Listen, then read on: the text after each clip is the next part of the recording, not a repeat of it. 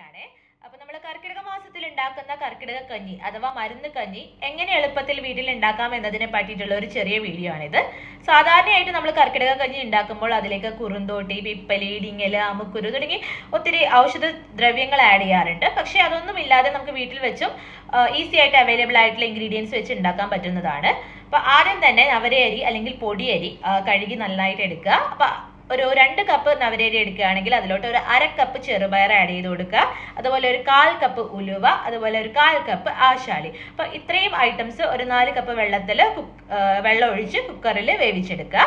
പിന്നെ ഒരു അരമുറി തേങ്ങ അര ടീസ്പൂൺ മഞ്ഞൾപ്പൊടി അര ടീസ്പൂൺ ജീരകം രണ്ട് ചെറിയ ഉള്ളി. ഇത്രയും ഐറ്റംസ് മിക്സിയിൽ നന്നായിട്ട് അരച്ചെടുക്കുക. അപ്പോൾ ചോറ് അതായത് നമ്മുടെ അരി വെന്ത് കഴിഞ്ഞാൽ അതിലോട്ട് ഈ അരച്ച് വെച്ച അരപ്പ് ആഡ് ചെയ്ത് കൊടുക്കാം. നന്നായിട്ട് മിക്സ് ചെയ്യുക വെള്ളം വേണമെങ്കിൽ കുറഞ്ഞു പോയിട്ടുണ്ടെങ്കിൽ കുറച്ച് ആഡ് ചെയ്ത് കൊടുക്കാം.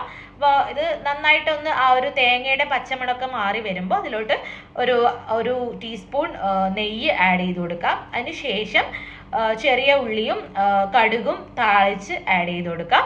പിന്നെ ഉപ്പ് ഇന്തുപ്പ് നിങ്ങൾക്ക് ചേർത്ത് കൊടുക്കാം. അതെല്ലാം നിങ്ങൾക്ക് മധുരമാണ് വേണ്ടതെങ്കിൽ അതിലോട്ട് ശർക്കരയും ഇട്ട് കൊടുക്കാം. അപ്പം നല്ല ടേസ്റ്റി ആയിട്ടുള്ള കർക്കിടക കഞ്ഞി എങ്ങനെ ഉണ്ടാക്കാമെന്നാണ് പറഞ്ഞത്. അപ്പം നിങ്ങൾ വീട്ടിൽ ട്രൈ ചെയ്ത് നോക്കുക. താങ്ക്